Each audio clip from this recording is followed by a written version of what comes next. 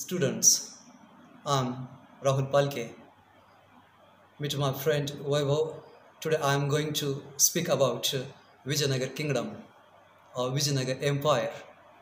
Its span was from 1336 to 1565. Vijayanagar Kingdom and the city were founded by Harihara and Bukka, sons of Sangama, who were feudatories of Kaktiyas and later became minister in the court of Kampili. Vijayanagar Kingdom lay in the Deccan to the south of the Bahamani Kingdom. Vijayanagar period can be divided into four distinct dynasties Sangam, Saluva, Tuluva, and Arvidu. Now think about the Sangam dynasty. Its span was from 1336 to 1485. Harihara first and Bukka first. They laid the foundation of Vijayanagar. Vijayanagar Bahamani conflict began with the foundation of kingdoms. Clash of interest in three areas. Raichur Doab between Krishna and Tungabhadra, Krishna Godavari Delta and Marathwada. Bukka first, his ban was from 1356 to 79. Bukka first strengthened the city of Vidyanagar and renamed it Vijayanagar. He restored harmony between the warring Vaishnavas and the Jains. The rise of Malabar, Ceylon, and other countries kept ambassadors at his court. Harihara II, Bukka first was succeeded by his son Harihara II. Devraya first. He was the third son of Harihara II. His greatest achievement was his irrigation works, where a dam was built across the Tungabhadra with canals leading to the city. Niccolo di Conti visited Vijayanagar during his reign. Next came Devraya II.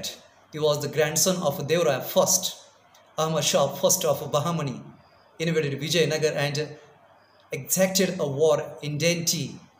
Devraya II began the practice of employing Muslim cavalrymen and archers in the army on large scale. Their induction had begun during Devraya I.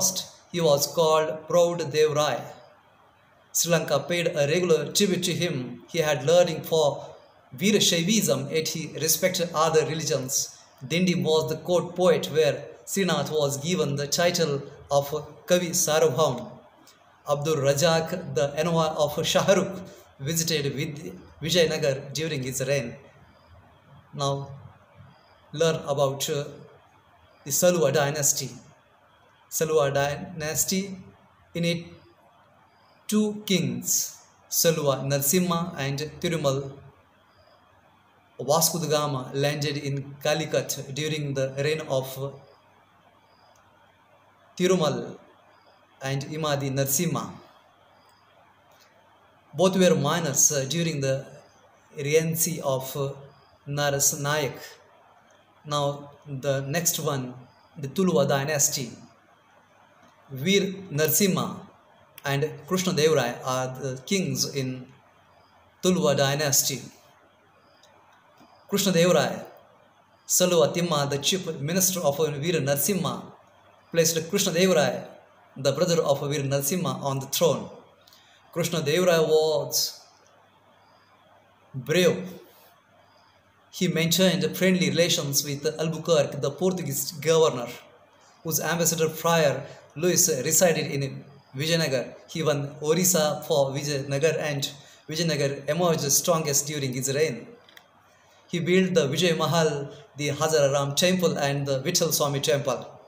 He took the titles of Yavan Raj Sthapanacharya, a restorer of the Yavan kingdom, that is Bida kingdom, and Abhinav Bhoj.